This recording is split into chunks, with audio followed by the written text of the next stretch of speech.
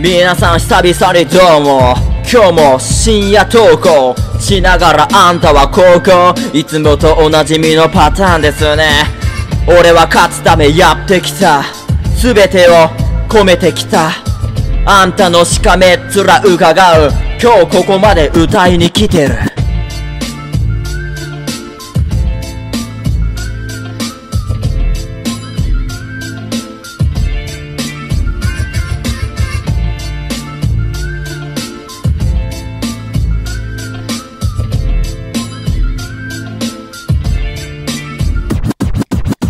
別に俺はリアクションなんて伺ってねえ。誰もリアクションなんていらねえ。ノーリアクションでも構わねえ。笑わなくてもいい。だけどみんなを楽しませてそれだけだ。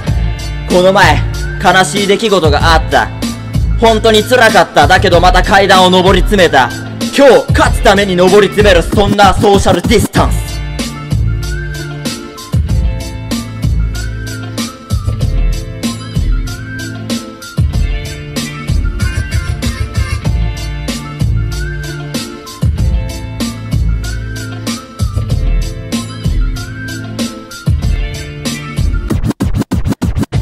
だいぶ密だな俺たちの距離感。バグってるぐらいもう殴りかかりそうだ。だけどそんな質がいいラップをしてるわけじゃねえ。今日キッズたちを喜ばせてるわけじゃねえ。だけどヘッズをうならすワックになるためやってきたワックじゃねえけどラップをするためやってきてんだ。学校行く気もねえ。行ったら胸が痛くなる辛くなる。それでもまた笑いに来てる。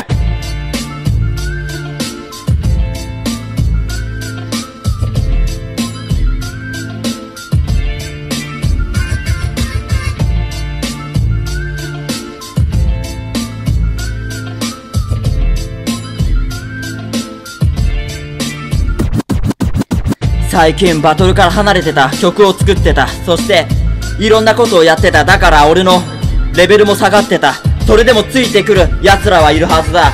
質は求めない。当たり前。俺は田川出身。小倉サイファーで上げてくぜ。いつか起こす大どんでん返し。